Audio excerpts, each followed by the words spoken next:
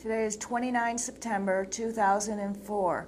I'm here at the Veterans Hospital as a volunteer to interview a World War II member, Mr. Manuel Pacheco. We also have Mr. James Conklin as a video photographer. Mr. Pacheco, Yes. can you explain where you lived and how you got into the military? Where I lived before the, I entered the service, I lived in a little town called Riverbank, California. And um, And what year was that? that was in 1943. And uh, I had I wanted to be an aerial gunner. And so, uh, but uh, my dad said, well, I need help. Uh, so I worked in the farms, and so I stayed a little bit longer until the draft came by, and, and I was drafted, which is okay. So um, ended up going to North Carolina for training, and it was at night. And I thought, I heard the planes, I heard planes overhead at night, and I thought, oh, I'm going to be an aerial gunner. Turns out to be that was Airborne Division instead of the Air Force. So the, the fellows start telling me, hey, this is an airborne division. Uh, you want to volunteer for paratroopers? I said, well, I wanted to be an aerial gunner. He said, well, there's no such thing around here. You are going to uh, be a glider man or you're going to be a, a paratrooper. And I said, and they was telling me, you know, they said $50 more a month. Now that, that's what got me into it, $50 more a month. So I went ahead and uh, volunteered for, a- for a paratrooper as we got trained, uh, uh, I started telling them what I used to do, you know, the officers at home, what I did. And I said, well, me and my dad, um, we uh, chop wood, and we cut wood, firewood, for, and, and uh, we sell it. And then I said, uh, my dad used to use dynamite uh, to blow these great big trees, blow them apart. And so they got the idea that maybe I should be a demolition man, which is what I turned out to be. A demolition man, they call it demolition expert. But anyway, I did enjoy working with explosives. And uh, besides the explosive, there was this thing about uh, building things, you know, and as an engineer. And so I'll tell you what, I don't know how many others, but I did kind of enjoy my tour in the Army. And I even cried when the war was over because I was I had bonded with all these men, and uh, I said, "Well, I won't see these guys anymore." As it happens, out of all the men, I ended up um, going home after I was separated from the army uh, on the bus with uh, with uh, Linrose, um, a, a, a, a, private first class also, and he was a demolition man also. So I went and when they dropped me off in Modesto, California, from from, from Sacramento, and he went into Fresno where he lived. And um, that's uh, most of the. There's a lot of things happen in between, and you know, from the time I was drafted until the time I was discharged. So I um, I was on furlough in September of 1943. Uh, no, no, yeah, 43. Yep, 43. And so I had a transfer in Kansas City, Missouri, so I could go on to North Carolina where we was taking training. And uh, I was looking for uh, so- somebody to talk to, and I saw these two young ladies. And uh, so I approached them and I talked to them. And uh, one of them was really outgoing and very friendly. One of them was. The other one was real quiet and and uh, more subdued. And and um, she appealed to me right away, which was my Mary. And so the picture that I have here is the picture of of uh, me and her as we was uh, walking around Kansas City, Missouri. Uh, as a reflection. Okay, yeah, and so we uh, got acquainted, and uh, I'm pretty sure you fell in love. Well, you know what it's like, and that's what happened to me. I fell in love, and I could not um, get her out of my mind ever since that particular day. So we wanted to go to the show, and so I said I'll stay over and go AWOL, but I'll tell the MPs I missed my train. Because there was millions of GIs meandering all over that Union Station in Kansas City, Missouri. So anyway, the, the MP was real good about it. He said, "Yeah, sure."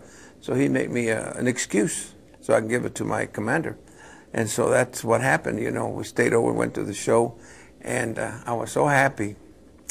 And so finally, after riding back and forth all, the, all, all this time, that's why I'm saying that she's a great part of this story. Is that um, when I was in New Guinea, I wrote her, I wrote her a letter, and I said I want to ask her to marry me. If now this is what happened. If she says no, I knew. I said I'm going to die over here for sure. But she said yes. So I really took care of myself. And one of the things I did, uh, we was losing a lot of men with a, a disease called scrub typhus. Uh, this is a little a little parasite that would get under your skin, would lay eggs, and then you would develop a real heavy or very high temperature. And the army did not have a medication for this. So um, we lost a lot of men with this scrub typhus. So, but since she had said yes, I took care of myself, and they provided us a a, a, a bug re, uh, insect repellent. And the thing about this insect repellent, that you put it on and it would burn. I mean, it kept the bugs out too, but they would burn. But I didn't care. I'm going to take care of myself. I used to say I was so happy that she had said yes. So what happens that uh, time goes by and uh, we are moved from New Guinea. This happened in New Guinea. From there, we made a landing in Leyte with General MacArthur. And then from there, we made a landing in the southern part of Luzon. And um, then that's when I found out why God had created flies. The flies were something else. They did the cleaning up of the dead flesh of these uh, Japanese and, and, and, GIs too. And so uh, I got uh, learning a lot of things besides knowing the value of flies. They would uh, lay the eggs on these dead bodies, and of course they, they would hatch into maggots, and they would, in one week, mind you, in one week, that uh, that dead body would be nothing but bones. So they where, would. Where is this at now? and Uh, this is in? Leyte. That's first. That's the first time I saw. I did. I did. Uh, uh, did a Jap Jap soldier, and uh, so uh, these are things I'm picking up as I'm going along. And and uh, as an engineer, uh, my job was to um, uh, look for mines, deactivate the mines, and there was a lot of those. And that, that this is my job. Even the infantry would walk by and say, and they would tell me, "I am glad I'm in the infantry." uh, because uh, you know probing for these mines. How about this? Uh, we got into a pasture that was something like hundred acres or more, and the Japanese had mined it with 500 pound bombs. And so our job was to look for these 500 pound bombs that they had um, put into the ground. And so we done it. We done it. We just well trained, you know, and we had a little wire that we probe into the ground, and we go along, and and we went ahead and. Uh, but when it came to um, looking for mines around the craters that was left there by the American bombs that was dropped on this area, uh, that was something else. So I remember distinctly remember uh, getting bored, and uh, and with my trench trenching tool, I I frustrated, I guess. I went ahead and and hit the uh, the ground with this trenching tool, and I missed that that uh, they have they have a little propeller. The bombs have a little propeller on the end, and um, the, the, when this when they drop the bomb, because the the the the, uh, the travel through the air turns this little propeller that primes it, and puts a needle inside of this primer that helps it to explode. So I missed that propeller by an inch, and I actually, I actually remember, even right now, I remember uh, waiting for it to blow, and I could feel myself going up in the ground. I mean, up in the air, but I had missed it. You know, I was just like, that's how close I come. Um, and uh, the other experience that I that sticks in my mind is that uh, we had some tanks. They had provided some tanks for us. And as we traveled uh, through um, Luzon, this is in Luzon, from uh, where we landed in the southern part uh, towards Manila. Uh, the Japs were moving out and we was moving in, and we had to go through a part of the um, of the area that was up in the mountains. So we come to a place in the mountains that had a lot of little uh, debris from the trees, and it looked like they had bombed that area, but it was camouflage. And there was also aerial bombs in that road, and one of the tanks got it. So then there we go. Then we had to. I I remember crawling under the tank, looking for a, an aerial bomb, and because um, we was trained, and, and I even think about it now, I was not uh, afraid or, or I wasn't uh, scared or to say that uh, I don't want to do it. No, none of that. I went and probed and probed, and sure enough, I found one. And so then I could let them know that the the duck. This is uh, this is underneath a duck, and not a tank. This is underneath a duck. No, it's under a tank, but they brought a duck with a winch. Uh, the, the tank moved out of the way, and of course by then I had all this dirt out of the dug up out of around, around the bomb, and uh, I had taken the the little propeller off with my wrench, my Japanese-made wrench, uh, for this bomb, a Japanese bomb, and I took the the primer out and they put a winch to it and they pulled it out. It was not a very big bomb. This was not a 500 pound bomb. This, I don't know, maybe 50 or 100 pounds uh, bomb. But, anyway, it would have really done some damage to the tank. And so uh, that was another one of my uh, highlights. You know, you know, I give from one to ten to some of the battles that took place during World War II. Normandy would be 10. Um, the Bulge would be 10 and our encounter, because we was engineers, we we wasn't supposed. To, we was told not to be looking to to kill any any Japs. Cause our job was to well to do whatever it is we was trained to do. In my case, uh, demolition man. But um, um, this another case that really is sticking in my mind is that uh, after I, they, we cleared the bombs out of there, then they put me to sweep and all that debris, and there was a, a junction a Y, and every now and then the Japs would shoot at us with a machine gun. And so then they had to, they put us to clean it, and I, and I remember with a palm, with a palm branch, cleaning the debris off the road, and I, and I could feel that Jap looking at me. But um, first, I guess he didn't want to attract attention to himself, or um, wanted to maybe he felt sorry for me. I don't know, but I didn't. I did not get hurt. He did not shoot at me.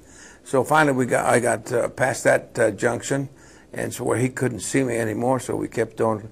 It was quite a way, quite a long piece of road that we had a, a sweep, and so the, the, we got uh, that cleared up, and uh, and then they they try to look for the. Uh, for this Jap with the machine gun nest, but we was engineers, and so they wouldn't do it. They wouldn't let us do it. And some of the guys wanted to go after him, you know, but they, uh, the officer said no. He said sure, because you know if they if if if uh, like say if, if I go out there to look for this um, uh, machine gun nest and I got killed, and they needed a demolition man, mm. I would not be able to do do them any good laying there. How long, excuse me. How long were you there? In that area? Mm-hmm. Well, it took about two hours to clean out that road many so, days? Uh, yeah, how many days? Well, we was moving, so that we, we was not there very long. We lost, uh, we lost, uh, I don't know, half a dozen guys as we moved because the Japanese were in spite, what they call spider holes, and they would, you know, dig holes in the ground and then they cover themselves up. And then they would, uh, when they, at the proper time, when they thought it was the right time, where they, they'd get out of that hole and, and shoot as many as they could. And they did, uh, they did hit uh, some of our men. And I remember one one guy that uh, got hit and he fell and he was mama mama and he was flexing his fingers and then he turned he turned waxy that's when i knew he had died mm-hmm. and then, then another case where my sergeant got killed and um, he got hit in the groin and he was hollering at the medical officer am i going to die am i going to die he had a big hole in his groin and his um, and his genitals where they had been torn out, And he, am I going to die? And the officer said, no, you're going to be okay. But in about 10, 20 minutes, well, he was gone. To, there was no way to put a tourniquet on him, you know. If you can visualize, imagine what it was like.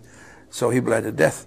And uh, let's see what else was there. Oh, oh yeah, here's another one that's interesting, I think, that sticks in my mind. We had been sent to this little island, I forget the name of it, to uh, bring out all these wounded and the dead that we'd had. And uh, so then uh, what happens is that um, we ran out of food and we ran out of water. And this little dinky island took us 14 days to cross the darn thing. And we couldn't take a bath, so you could uh, work your your collar like so. And man, talk about smell. You know, yeah, because you get wet, you go into the river and you get wet, and then you dry and you get wet. Go up those slippery mountains until we got to where these guys was. Uh, our, our, our people were laying there waiting for us to come in and take them out. So that's what we had to do as an engineer also. And uh, Was that in the 11th Airborne? 11th Airborne. Mm-hmm.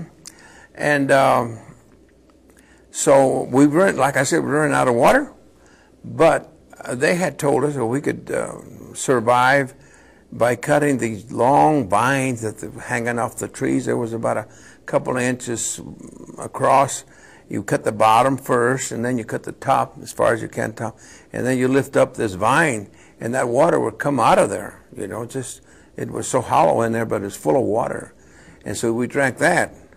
But when we finally ended up after 14 days, that we went ahead and, and, and bought these wounded guys and put them out there with the, where they could take them out. Uh, we was running towards the the the, be- the beach because we could see the ocean, you know. And we first thing we was thinking about taking a bath in the ocean. But in the meantime, here we're we're uh, uh, walking along a brick, a brick. I mean a brook, a brook of water, you know, running water. Oh, it was clear as could be. But you know what? Uh, up on top was a whole mess of dead Japs, a lot of dead Japs. And um, of course, the, the, maggots had started already working. So we went and, and, and started drinking water like an animal. We got down on our fours and started sucking this water. And then I seen down at the bottom what looked like rice. It was maggots. So I kept on drinking anyway. And uh, everybody else was drinking. And I almost got shot by one of the guy, one of my own men, because I said, "Hey, you guys, there's maggots down in there." So they went and looked and seen it, and one of them started throwing up. But uh, uh, that, that'll stick in my mind too, because I thought, "Gee, I should have never said nothing," you know. How long were you in the Pacific?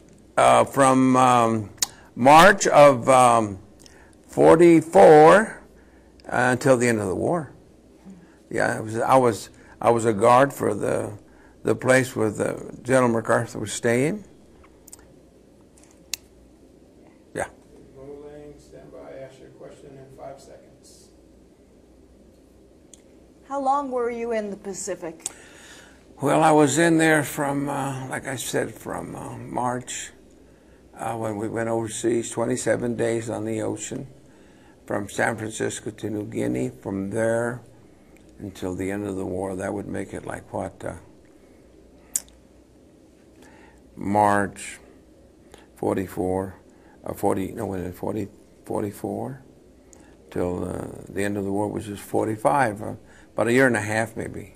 Yeah, being overseas, because we and, and they say I was in, uh, actually, I was in New Guinea, Leyte, Luzon, the little island, and Okinawa.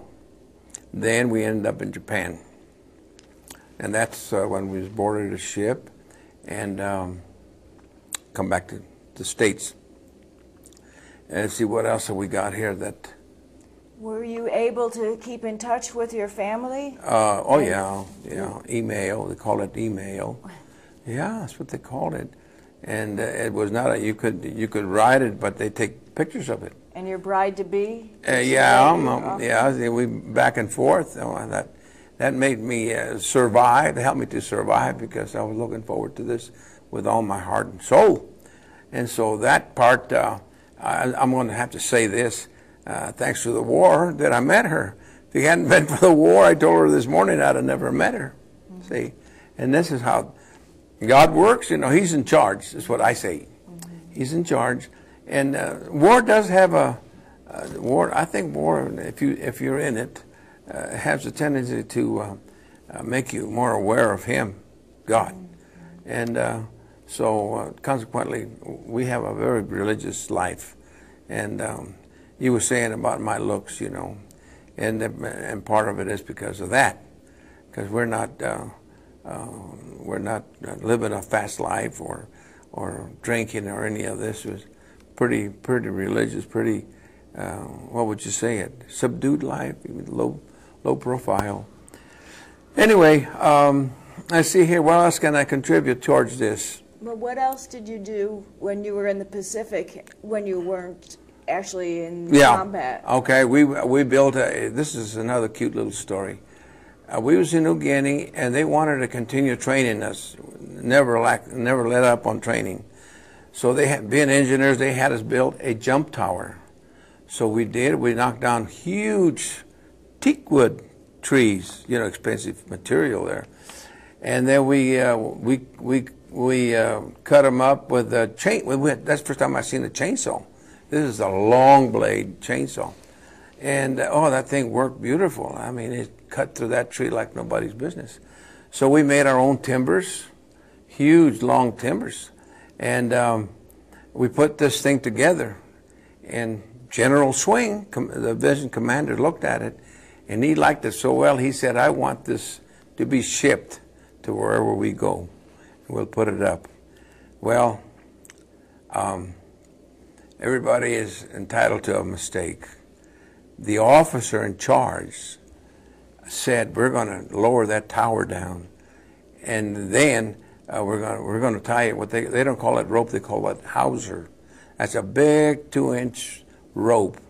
And he said, "Get all the men on it, and pull on it, and, and lower that. So they're going to we're going to break uh, loose the two two uh, two legs over here, and then let it pivot on the other two, and then it's going to supposed to go down because the truck's going to pull it over." No way. That bridge was, I mean, that tower was heavy. Because once it went beyond the point of no return, and then it started to fall and pick up speed, and that rope, oh, that rope went through a bunch of us, and they knocked a bunch of guys down and got the sergeant across the neck here and burnt him. And uh, I got away from that thing. I said, well, you're not going to hold it. I, I'm a private, and I know better, but this officer, I don't know, what was he thinking about? But that tower come down, and boy, did it splatter! It was so heavy that it didn't have a chance. And you know that that, that uh, it was on this tarmac, uh, tarmac, tarmac rather. Uh, it hit that thing and it splattered. Boom. So that was the end of that tower. But I'm saying though, that officer should have tied another truck over here and then backed it up, you know, and, and we would have saved it. But that's the way it goes. Another time, we, we, we the, the general said, as I understand it, uh, the commanders, division commanders said, "I want a bridge across this river by the by the ocean, so we can get uh, more traffic to cross because we're being restricted the, the movement of equipment and, and men." So, being engineers, we went to cutting those coconut trees and we started to nail them together with big long spikes. And one of the one of the men, uh, bright, bright enough to say, well, we, you know, the, the best way to uh, put these uh, steel um, spikes through these logs, big thick logs, is to shoot them with a with a 30 caliber um, bullet. It made a little dinky hole, and then that spike would go in it. So it did, and we built this uh, trestle. They call it trestle, and, and I don't know, it weighed tons and tons. So guess what happened? We started um, inching, it, inching it towards the, the river to see if we could put it up. No way.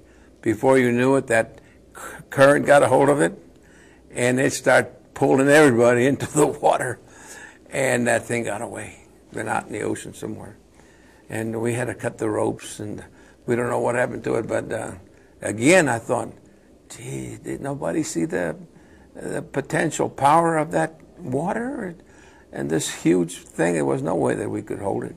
So that was the end of that bridge. And to see what else was it? Did you go out into the civilian uh, community? Yes, yeah, we did. Yeah, we did. We they was all real happy to see us, were they? Yeah, the people. And I remember one Christmas uh, we was uh, getting pretty close to Manila, and the girls come out there and uh, uh, they offered us tamales. Ooh, I thought to myself, tamales. And so I, I, I, we paid for them. They, I don't know, if I forget what they charged, but there was not tamales like we know of. They was made of rice, and it was kind of gooey. And I and I tried to eat one, and I, I couldn't eat it. And it was wrapped in banana leaves, and uh, of course they thought it was you know good, but uh, some guys did eat them. But uh, you know, there's different uh, taste to the to the to what we was used to eating. So I was disappointed there because this was not a tamale like I knew. anyway, um, uh, let's see here. What else? What else can I remember that uh, is of interest? Did you ever see any USO shows or have time? Yeah, in, in the states I did. Yeah, we went and uh, made use of the USO with their coffee and donuts and and the and the and the um, uh, the material to write letters in. What do you, uh, what do you call it? Uh, uh, envelopes and paper and Stationery. um, what do you call it? Uh, Stationery. yeah, yeah. So we used to. I used, with me and another guy used to go to While you were overseas? no, this was well overseas. We did have the Red Cross ladies um, uh, prepare some coffee and donuts when we was not in the area where there was any danger of the Japanese uh, shooting at you. And uh, let's see what. Oh yeah, yeah. There's uh, all kinds of bugs, insects. That's one thing I hated about New Guinea was the mosquitoes. I mean, they was big things. And one night I woke up. I, we had a, uh, mosquito nets over our cots. This is when we was uh, training and bivouacking, and uh, we was in pyramid tents. Um, I remember waking up, and I felt some weight on my foot. My foot, what could it be? And I looked, and there was a huge rat sitting on top of my foot. And uh, I shook it like this, and boy, she took off.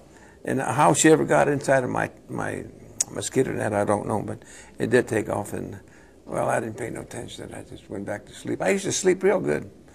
One thing, another thing I might tell you about my my uh, tour in, in in the combat area, I had a heck of a time staying awake. I don't care where I was, I would fall asleep. And my my turn, uh, and the perimeter, we had uh, foxholes where we would dig holes, and then you take turns from. I had- I had my my guard duty was from twelve to four, so uh, there's no way that I could stay awake. So one day, uh, Mr. Mata, Robert Pri- Private or PFC Mata, was supposed to relieve me. So he came up there and he really chewed me out because I was asleep. And he got mad. He said, "You're supposed to stay awake." You know, they could have sneaked. They could have got you because we lost a lot of guys with the Japanese cutting their throats. You know, uh, this is the way it was. And so um, I said, "Well, I, said, I just can't stay awake. It's just something about my mind, I guess, is lazy or whatever. But I could not stay awake. But anyway, uh, that's another experience that I remember. That What was the food like? Well, it was uh, pretty good. It was uh, very nutritious. There was uh, they had uh, breakfast, which was eggs and ham in little cans, and then there was uh, uh, and uh, let's see, there, there was another at, at noon. Uh, supposed to be that supposed to be a noon meal. Uh, it was also sometimes it was beans and and uh, and Vienna sausage or or uh huh MREs? um, yes. Okay. Then at, at, night was the best because that's a lot of times it was spaghetti or chili, and um, yeah, and yeah, and I really enjoyed the chili myself. But some of the guys didn't care for it. You know, they was not used to it, but I did. And so then I, um, I, I really enjoyed. Would you believe it? I, mu- I must have been nuts, but I really enjoyed my tour doing World War II. The time that I spent because I saw a lot of things, a lot of things, and uh, you, uh, you, you know, you you do acquire some wisdom, I think, when you're involved in this uh, um, this thing of life and death. And uh, we had, I I remember some of the guys that, that didn't make it because some of them went crazy, you know. Like there was one guy, uh, I guess he thought he could get away with it, but he stripped down completely, no clothes, except for his uh, for his uh, shoes. And he made a little uh, he made a little crown of leaves and what have you, and he put it on his head. And so when they caught him, uh, he said, "No, I'm not. I'm not a. I'm not a soldier. I'm a native." And so they knew right away that he was off. So uh, uh, they had a the MPs came in and took him away. And then another guy that uh, same thing. He was when the when the uh, Jap uh, planes would fly over to drop bombs. Well, this guy would run and stick his head in the bush, and his his, tail would be up in. And I thought, gee, what's he hiding for? I mean, he's got his head in the bush, but his butt's up in the air there. Well, gee, well, there's no protection. But I used to ask him, oh, he says, Pacheco says, I got a family, I got to take care of myself. I said, yeah, but look, you're not protected at all. You got just your head in the bush. And he said, yeah, well, but he had in his own mind that this was enough.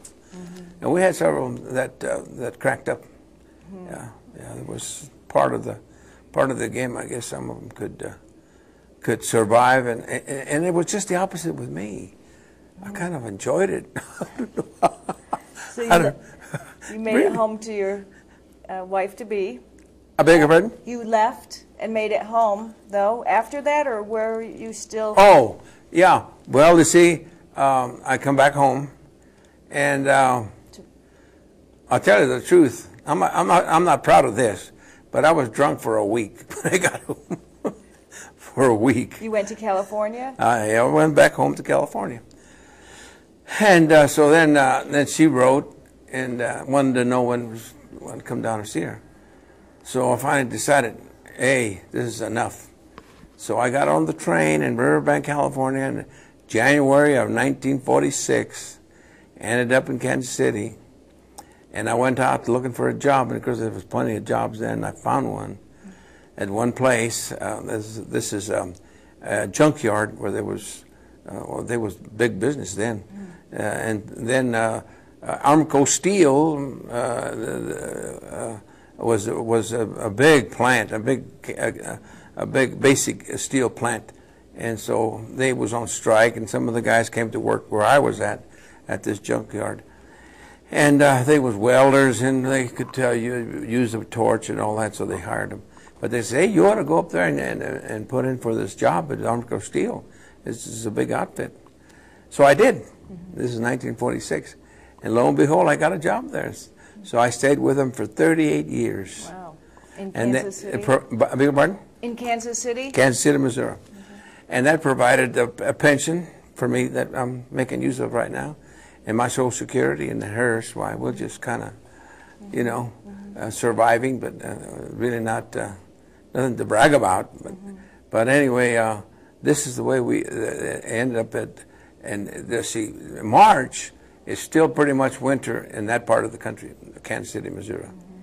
But uh, we picked the day, uh, the second of March, for our wedding. And uh, oh, I got an interesting story I can tell you about this.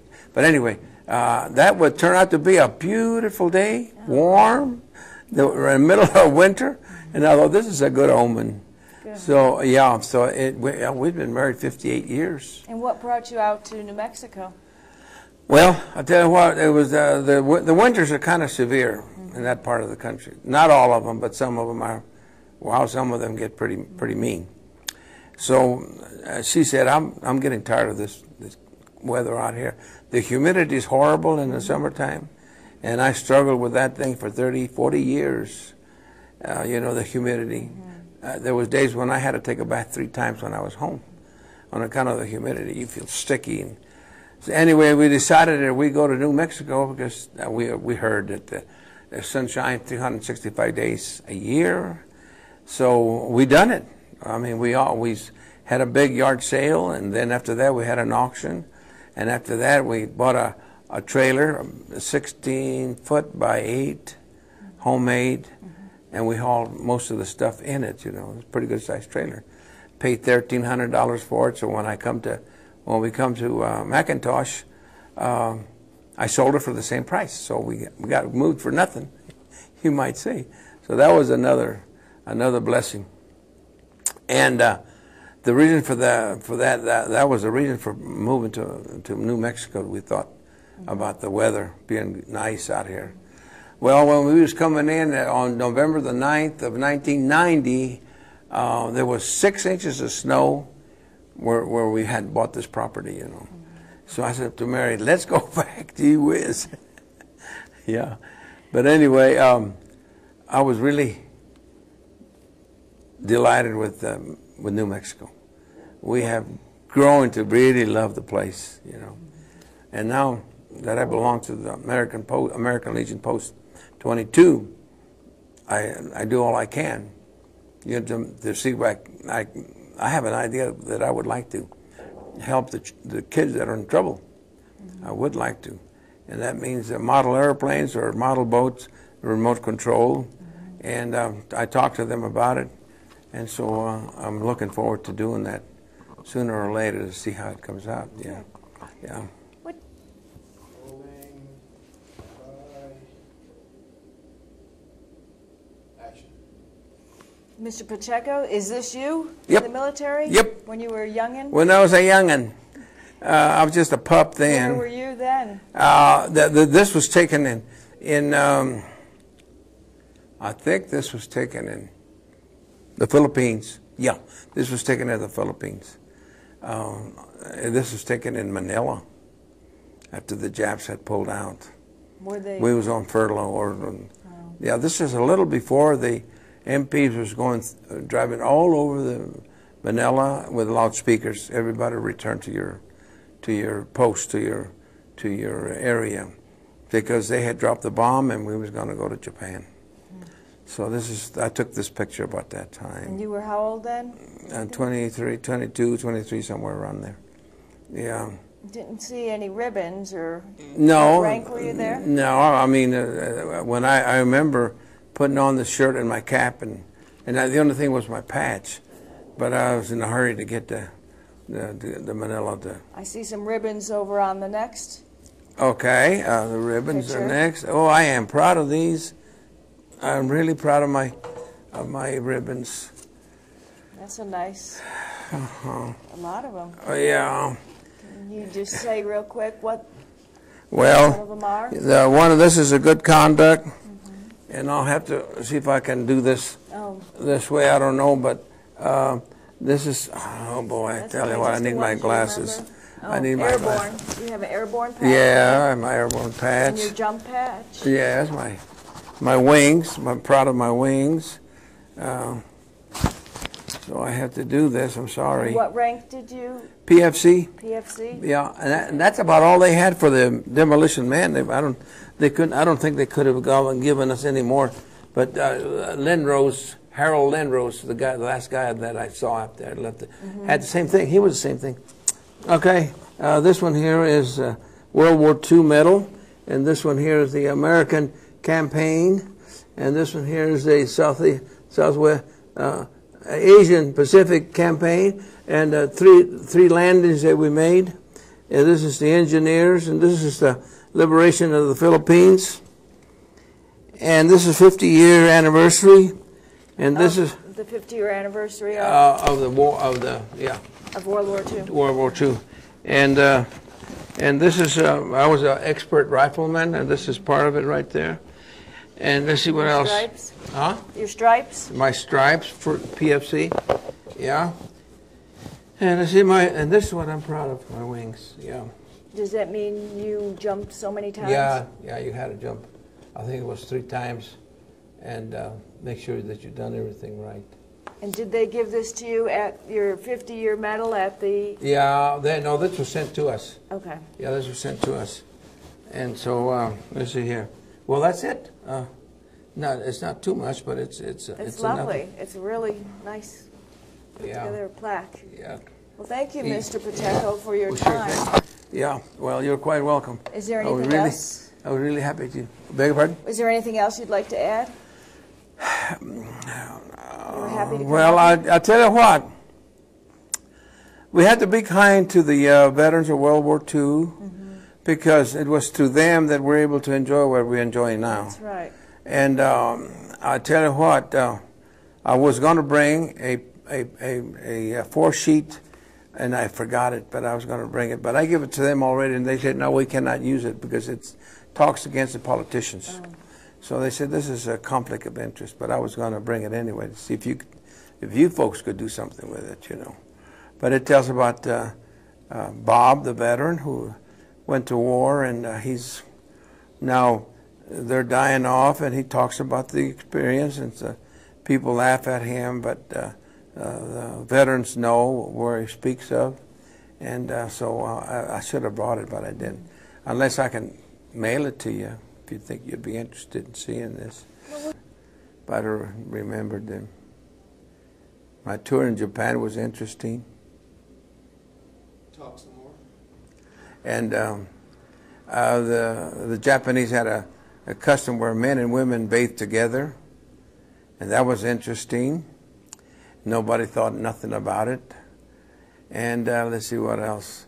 Oh, and the weapons and explosives in Japan. And you should have seen the pile of rifles. I'd say the pile was like 20 foot tall and about uh,